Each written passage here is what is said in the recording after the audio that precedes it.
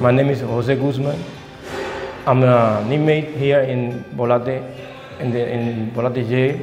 I've been here for three years and a half. And I'm 55 years old. I'm from the Dominican Republic. Our project is called Calling from Jail.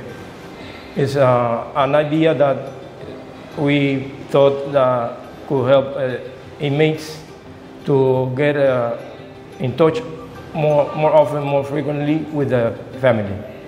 Because over here, the time is very short the, the, for, a, to make a phone call.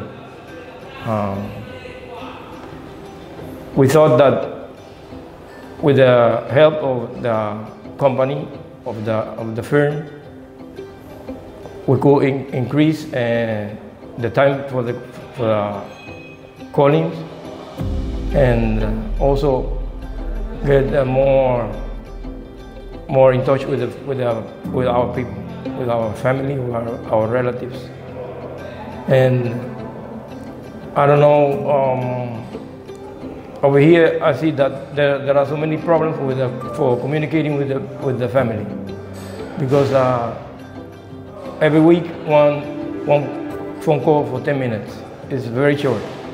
We thought we're thinking that maybe it could be increased it could be um, renovated.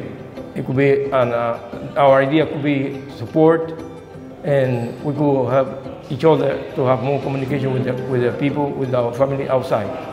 I think that this uh, project idea in, in Fuga uh, is very interesting and very important because uh, that way we can um, develop more projects, more ideas to, to help each other, eh, help eh, and every inmate in this institution.